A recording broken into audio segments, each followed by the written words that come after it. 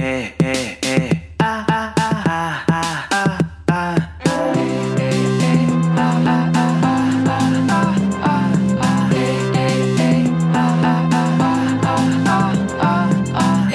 listening to Living at the Highest Level with Dat Lee.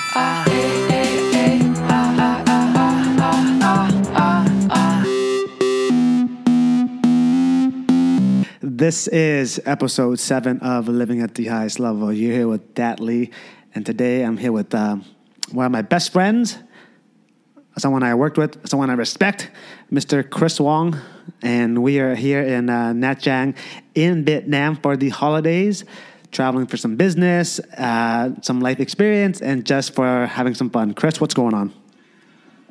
Yo, yo, the weather outside is freaking amazing. You know, like uh, as we're driving here, I checked the um, Google weather. It said it was gonna rain for the next five days, but no, it's amazing outside.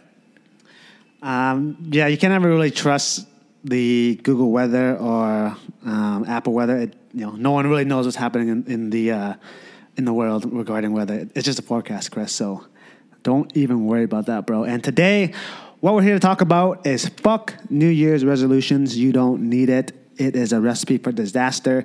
It's just an excuse for people to uh, try to reinvent themselves and fail. What you really need are epic goals goals that you actually want to achieve that are fun, that are actual measurable, and we'll go into why people don't really fail. But Chris, what's your thoughts on uh, New Year resolutions? And today is the 29th of December, so we still have a few days left before people decide to uh, make their New Year's resolution, and we're here to tell you not to. My thought on this is a lot of people try to have a restart every single year, but uh, you know why would you wait till wait like 30 days, you know, 60 days, a half a year in order to start something new, right? Why don't you just do it now? Yeah, that's the biggest thing. It's it's like oh, New Year's is just a reset for everyone. Oh yeah, I'm just gonna uh, make a new goal for the year, and then after two weeks, they just pretty much forget about it.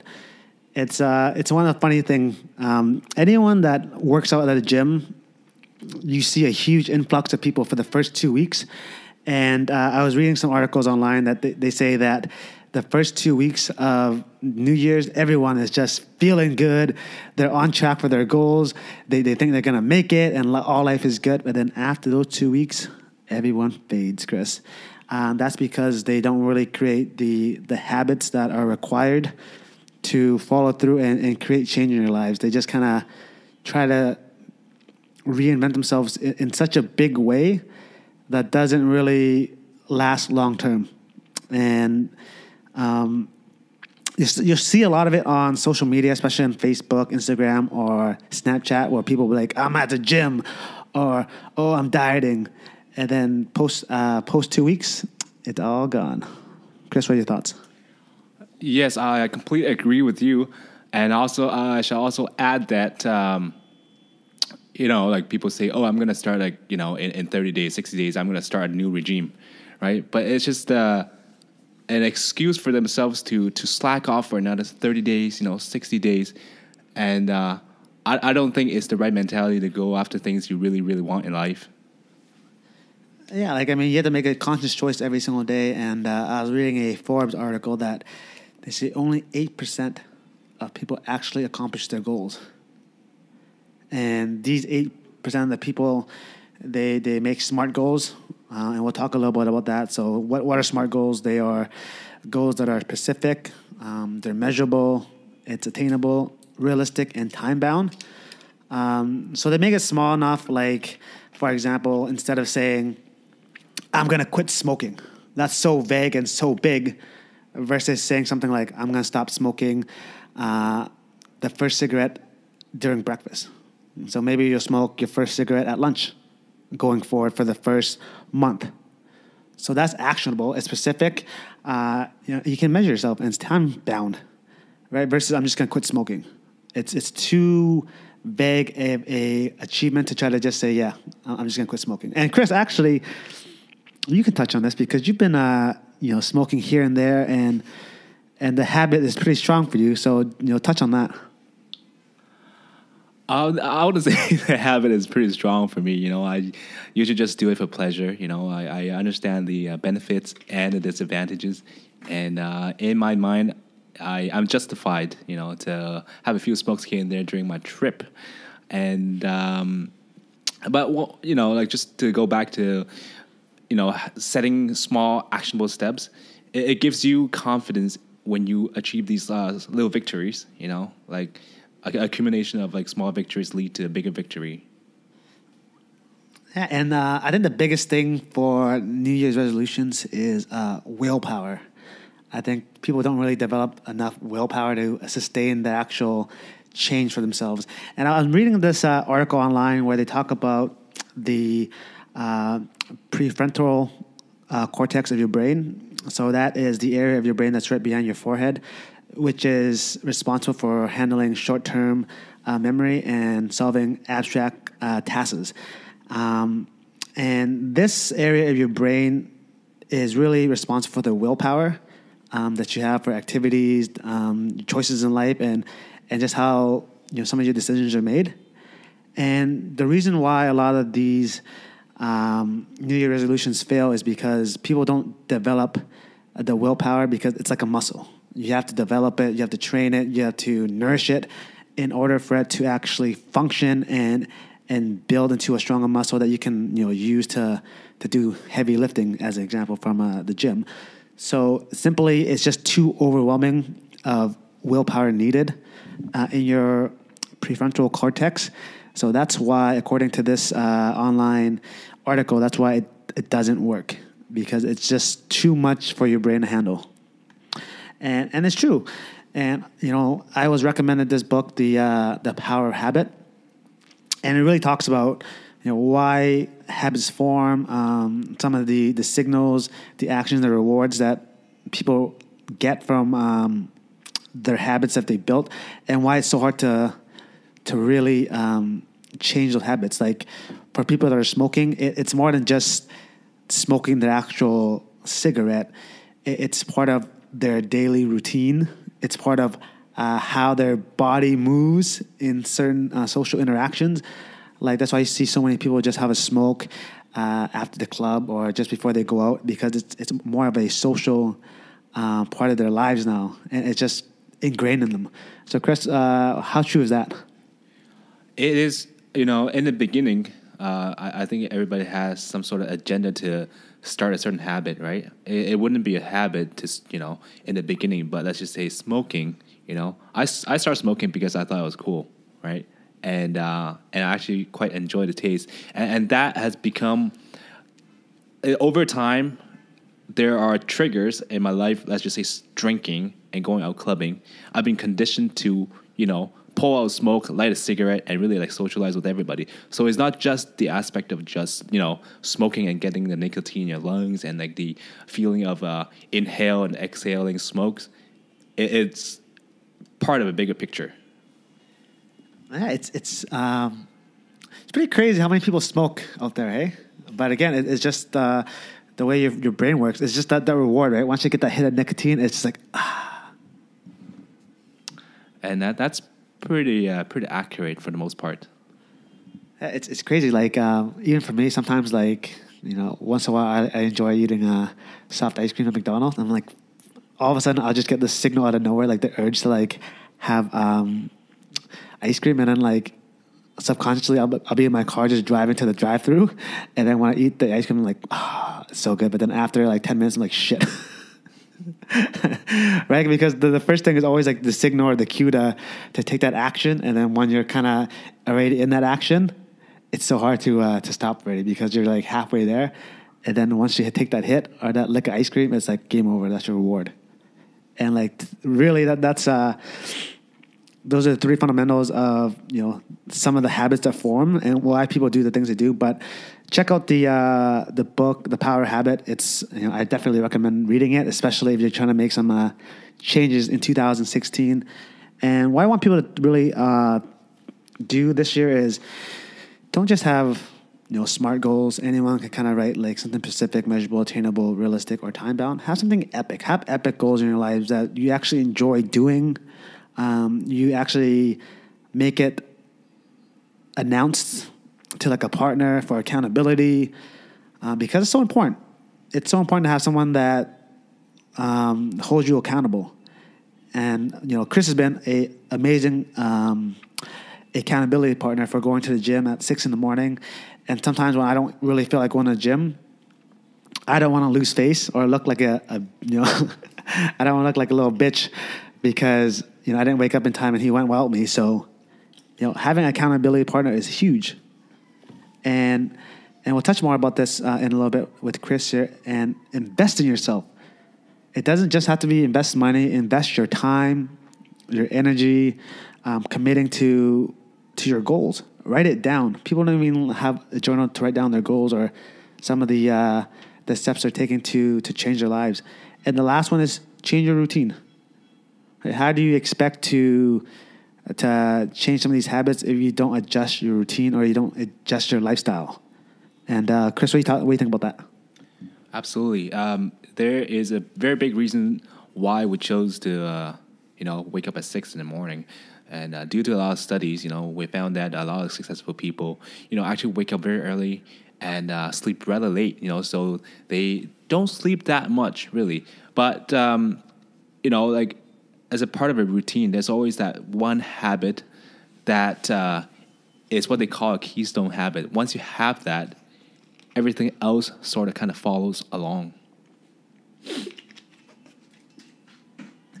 And honestly, sometimes it's it's just as hard as the first day you started, but your goals have to be big enough that you're willing to to get up every single day early, or you're willing to stop smoking and stop getting that that hit um, of whatever it is that you're, you're, taking, and it just has to be worth it.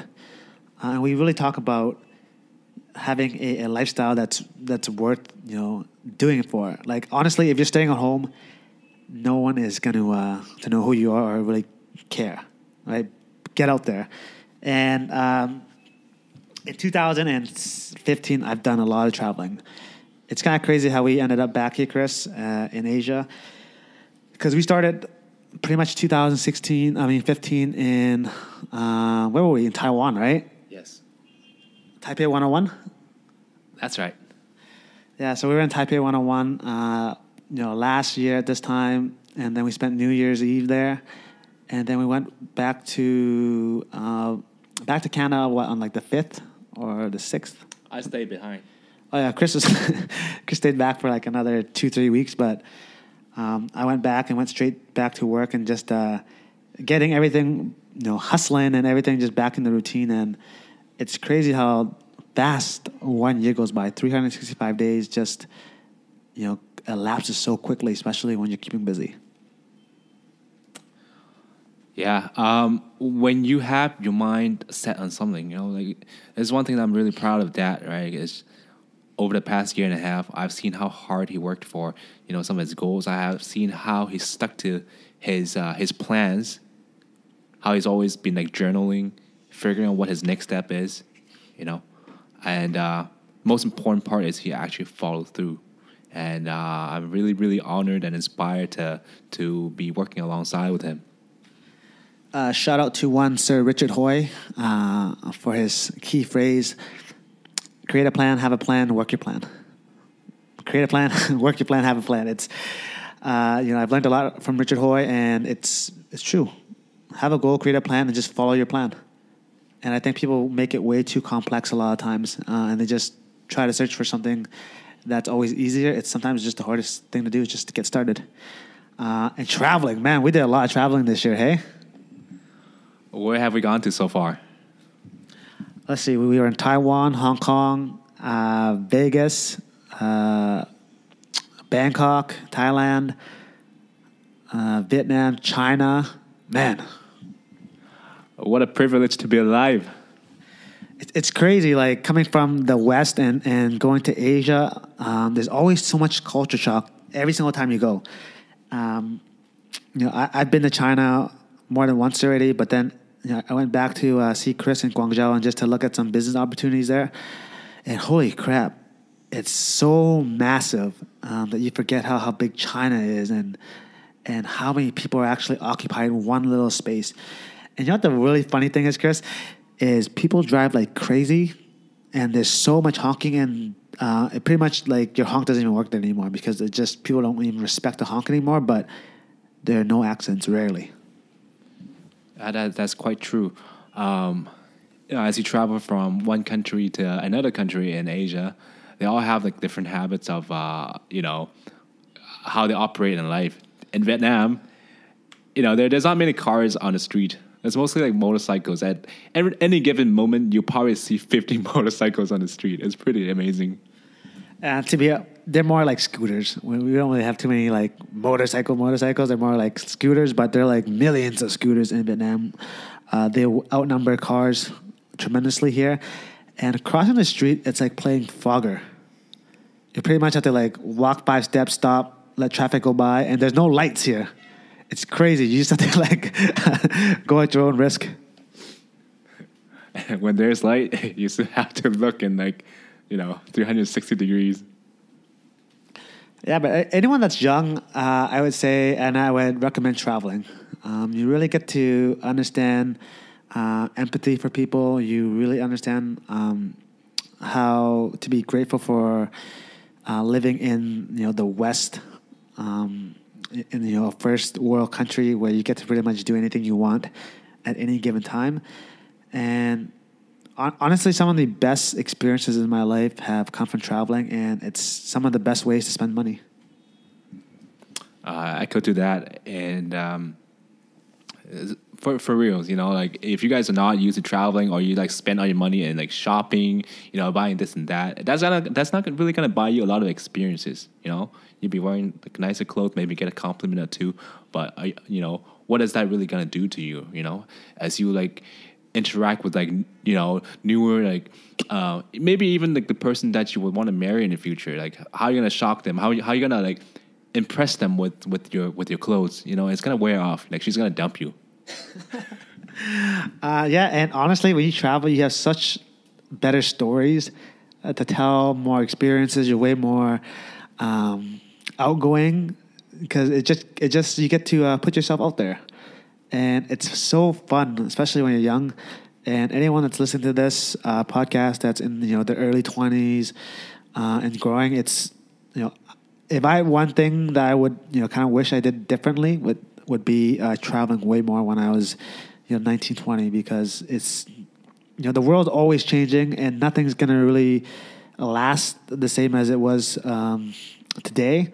So just you know make a commitment if you're young and you have some time and have a bit of money, go travel, meet people, get out there. Um, you really have a bigger scope of of the world, and it makes you a way more interesting person.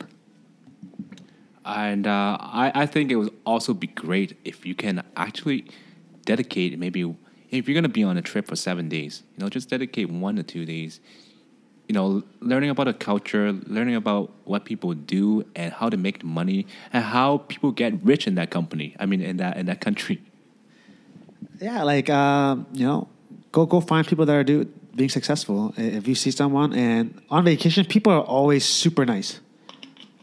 If you ask them or like you know you buy them a drink or take them out to, to dinner, you know they're they're very open and sharing their experiences uh, and, and giving you some really good insight about you know some things they did in life that made them successful, things that they wish they didn't do, or just you know some good life lessons. totally Um, you know, since we talked about earlier about not having new, uh, you know, New Year's resolution, just having epic goals, Chris, what are some of the big lessons you learned this year? in 2015, I have learned that um, you know, like to be successful, you really need to have the right support. And, by support, I don't mean like just your family and friends, right? You need to have like professional support. You need to have people in the world that maybe that help you work around the clock. And I tried to be a lone wolf for like a month or two when I first started my, uh, you know, my new business. And when I started, uh, you know, meeting my business partners, actually I met them online, which is quite strange. And then we have built quite uh, quite a bit of trust for each other. And that's when I really started to excel in my job. Right, I've learned so much that if I was to do it by by myself alone, it probably took me t- you know like a whole year to learn what I've just learned in like you know three months. So leveraging relationships is it's key, hey Chris? Yes, Starting your new business venture. absolutely. Um, yeah, so just a little background about Chris. Chris and I used to work together, uh, and Chris, you know, when he left, was one of the top uh, closers or the top salespeople in our organization, uh, and that gave him a lot of confidence to uh, go start his online um, entrepreneurship um, business. And you know, it, it really changed the way you look about life. Hey, Uh, yes, I, I to- totally. That, that's more than uh, more than true. Um, you know, I used to work in a science lab. You know, it's nothing to be uh, proud of. Most people would say, "Wow, you must be like really smart." Because are you a scientist? I'm like, no, uh, that's that's not really it, right? I really got like stagnant, just doing the same thing over and over, you know, for like years. And I wasn't in sales. I had no sales background and what I was able to achieve, you know, in the sales industry, really helped me to uh, push my boundaries in life. You know, knowing that I could do, I could go from zero to to to I would say like I wouldn't say hundred, but like I did quite well uh, in my opinion, and that really gave me a lot of uh, confidence to to start uh, something from the scratch. Yeah, honestly, sales is one of the best skills or learned skills to have. And people always think that it's you know I can't do it or I'm not a born salesperson, but it's a learned skill trait. It's a it's something you develop. Uh, and once you actually master the, the skill of selling, it's gonna like enrich your life so much more in relationships, in your uh, personal business, your love life, um, how you are when you just communicate to others, when you first meet them. Um, it just makes you a all around more interesting person. also the stories and experiences that you get from dealing with uh, you know a lot of different people it's just like traveling you know like there there are like a few different ways for you to grow right you can read books you can you know go travel you can meet like you know like different people and i think from meeting different people like that that's where i got the most like uh, intel about businesses and about just in general how people enjoy their their lives Yeah, it's so true. Um, you know, I, I don't think sales is is you know sales doesn't make you money. I think learning to close makes you money. you gotta go for the close Yeah, um, and you know some of the lessons I learned in 2015 were you gotta really enjoy any, everything you do. Um, you know, if it's gonna be something you don't look forward to, uh, and, and you focus on that negative negative thought, it's just gonna make it way more dreadful than it has to be. But if you look at it with a positive light and, and see what you can really learn from that activity or that outcome, it's gonna make everything way more enjoyable. Um, and it, it really is up to you how, how you view things, right? You can you can get a parking ticket and you can spend all day or all week, you know, thinking about how shitty it is, or you can just pay the ticket, move on, and enjoy your life. you know it's absolutely um, you know critical for you to to stay positive and one thing that would really help is actually surrounding yourself with you know positive people and just being around Dat all the time you know you can really feel that his uh, his positivity is is contagious you know it makes your your day better and in turn you can pay it forward you know and make someone else's day, day better Yeah, and if you're a person that always has a frown, um, don't take don't take this the wrong way, but no one gives a fuck why you're upset. Honestly, um, people don't care why other people are upset. It's better to just stay positive because more people are gonna enjoy your company. Um, if you're that person in your group or in your family that's always negative and always that that person that doesn't want to do this activity or always has something to say or always has, has the last word, realistically, um, over time, you're gonna have less and less people to talk to because no one likes to be around negative people. and it's also not good to build a bond you know based on negativity you know because if things change the bond can very easily break and you don't want to be like negative like for the rest of your life Yeah, it, it's crazy. It's just a, it's a choice that you make. Um, and I, I think the second thing that I really learned is put yourself out there. Um, you know, more opportunities actually come your way when you just say yes to more things. Um, if someone asks you to go for dinner, say yes. If someone asks you to go do a, uh, a you know a birthday or a networking event, say yes. It's you're gonna learn more, or you're gonna meet more people than you would if you stayed at home because you meet zero people when you stay at home. That's totally true. Actually, uh, Dat and I, when we got to Bangkok, it was one of the last days here. We're like super tired. We like went to three conferences, and then every single day we had to go network at the at the end of the day. And it was the last day in Bangkok, and we decided that we still want to check out this uh, this event. You know, no matter how tired we were, we were. And uh, you know, sure enough, we met some really like amazing people, and uh, we actually built some network. And when we get back to Vancouver, we're gonna have some, uh, you know, we're gonna set up some meetings with them, and, and let's see where that goes. Yeah, just more opportunities come your way. Um, honestly, smile more. People, regardless of how uh, how the bad or how good the day is, when you smile, you, you're just more attractive, and, and you just attract more things into your life, and people can really feel the energy. Um, anytime you walk into a, a elevator, for example, smile and say hi and ask people how they're doing because no one ever talks in an elevator. Trust me. I work in a corporate office, and every single time I go up and down, I'm the only person that says, What's going on, people? And people actually respond to it, and, and you're actually the person that sparks conversation. And if you're a person that uh, can always spark conversation, it's going to lead you into more opportunities, especially networking wise. That's true. Luck doesn't really come as a coincidence. You, you really got to put in the activities. Yeah, you have to show up to get lucky. Uh, this is one of the best lessons I learned. Ask more, get more. It works in all facets of your life. You know, if you ask for a better deal at the at let's just say uh, at the restaurant or at like a uh, when you go shopping, you know, most of the time, especially in Asia, it, it works. You get a better deal. Um, if you ask for more phone numbers from ladies, or if you know you're a girl listening to this and you ask for more opportunities with your guy, it's gonna it's gonna work. Ask more, get more, because the, if you don't ask, you're never gonna get it. It's kind of like that saying from uh, Wayne Gretzky. You know, you miss ninety nine percent of the shots you don't take, so just go ask for it, and trust me, it works.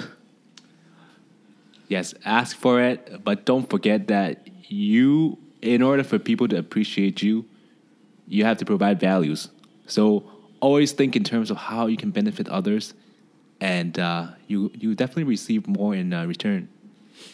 Yeah, it's so true. Like you know, add value to someone's life, uh, other's life. You know, either some something in terms of uh, a skill you can give them, or insight, or um, some type of experience you can share on them. Yeah, be be a person. You know, give more, get more. All right. Uh, and one of the biggest things, also, guys, do not take things personal. Uh, that's one of the biggest things. If you don't get a job that you applied for, or you know things didn't work out at this moment, don't take it personal. Um, you know, it's just a small delay. That's the biggest thing. Like I think, um, as you grow and as you age, you, you take less and less things personal uh, because it, it really doesn't like destroy the rest of your, your day or your life. If, if you don't get that one job or you don't get that girl's phone number or you don't get you know whatever it is that you were hoping for right at this moment i think um, people are so conditioned to get everything right now. And honestly just make adjustments to it. If something doesn't go your way right now don't take it personal. Just uh, adjust create a, a, plan and, and follow the plan. And everything always works out Exactly. Uh, you want to use that as an opportunity, opportunity to uh, reevaluate your actions, and uh, you know if, if, you're doing one thing and it doesn't get you, you know what you want, then um, maybe it's because you're not doing the right thing. Yeah, and, and all, sometimes it's it may be for the better. Sometimes there's uh there's that saying it's a blessing in disguise. You know, a, a lot of times people kind of get so caught up, but then like as they they learn and as you know time goes by and they reflect back, sometimes it's a huge blessing in disguise. Especially uh, in some type of relationships, if if you know someone breaks up with you, for example, and you think life is over, um, you might meet someone better that's more suited for you. Um, because honestly, the best is always yet to come afterwards. Yeah, let's just say a girl breaks up with you, and uh, you gotta think of the reasons why you know a girl is not valuing your your companionship, right? Maybe you're not smart enough maybe you don't work hard enough, you don't make her feel secure, you don't take care of yourself, and just see it as an opportunity for you to to get better. Yeah, it's all about like growth. Every single day, it's an opportunity to, to grow, and yeah, and to live at the highest level, it's it's all about creating that reality you want. You know, go out there, explore the world, try new businesses, try new jobs, get get into sales. One of the biggest things I can recommend because it is honestly a life skill to have. Door to door sales is what they say about door to door sales. If you're in it for um, a one year, it's equivalent to four years of communications, like uh, getting a degree in communications. Yeah, and the, one of the best skills to have is is communicating, uh, because that's how you really sell your thoughts. Uh, that's how you sell your ideas, and that's how you really sell yourself. Uh, 2016 is just all about you know being being the you you want. All you have to do is decide, write that you know write the characteristics of what that person you want to be is like, and act like that. And sooner or later, you will become that person. And don't forget to stop making excuses for yourself. Yeah, don't be a little bitch. That, that's the biggest one. If you're making excuses, that's because you're a little bitch. And everyone is gonna think you're a little bitch too. Uh, But it's more about yourself. Like, don't care what other people think. It's the biggest thing is for you to, you know, to hold yourself accountable. Um, rules to go by for 2016, guys. The six rules are the same. One, don't panic. Think positive and be objective, and don't think negative. Um, I think so many people just automatically panic uh, and they go into negativity mode, um, but that doesn't really get you anywhere. It doesn't change the situation, the circumstance, or the outcome, right? Just think positive, be objective, change whatever it is that's causing you to uh, have unpleasantry, and, and make those right adjustments. Uh, rule number two: walk fast. That simply means be busy. Be so busy that you don't have time for bullshit. No time for drama. No time for gossip. No time for watching TV. Um, I think people have way too much time for on their hands that they waste just uh, not living life. They kind of like live life on the TV where they actually they can actually go out there and explore life. So walk fast. Um, do the right thing always.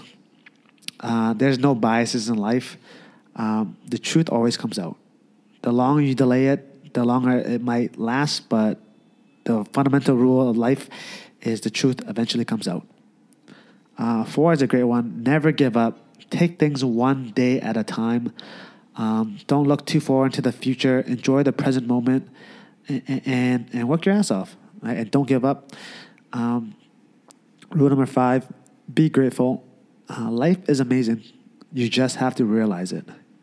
Um, the majority of us get to choose what we want to do, uh, act how we want, be in a safe environment, uh, be in an, a position that you can wake up and and go online and, and read things and and educate yourself. Uh, one of the biggest things that I really uh, am grateful for is not having a a censorship um, online. Um, when I was in China with Chris, um, there is so much censorship, and they block everything from you. So we have an opportunity to really educate ourselves and to have access to information, which is something to be grateful for in itself. And you really, you really don't understand how great that is until you actually lose it. Um, and rule number six is one of the most important rules: is know how to penetrate, uh, and that simply means finish what you start. Don't be a person that just goes ninety percent of the way. Um, there's that saying that you're you're like three feet away from gold. So really finish what you start, regardless of of what it is, um, and, and be that person. Just when you decide to do something, just finish it. Don't be one of those guys that or girls that just go and be a a, a, uh, a professional starter. There are a lot of those type of people, hey Chris? Yeah, I've seen a lot of those around me. Oh, I'm gonna start this. I'm gonna do that. I'm gonna go to the gym. I'm gonna take this class, that class, and they don't ever end up doing anything. Um, yeah, so those are, are the fundamental six rules of for me um, that I can share with you guys. Those are like really good rules. Um, I, I try to live by. Um, actually, you know, let's forget what I just said. Fuck trying, just do it. And uh, you know, and and Chris has got a lot of words. Just got a little tired. He's getting old. Uh, guys, um, this is the last podcast of 2015. I want to thank every single person that uh, has listened to the first six episodes in 2016. Things are going to get even bigger, Um, my goal is to do an episode every two weeks. Um, so it, it's gonna be good. It's gonna be a fantastic year. Uh, have a safe uh, New Year's Eve, and you know, fuck New Year's resolutions. Just have epic goals, and I really share them. You know, put them out there into the universe, and, and, and go after it. 2016 is gonna be going after what you want in life. And uh, let's live at the highest level because there's no other way to live, and it's the most exciting way to live. Happy New Year. Thanks again for tuning in to Living at the Highest Level. We'll see you next week.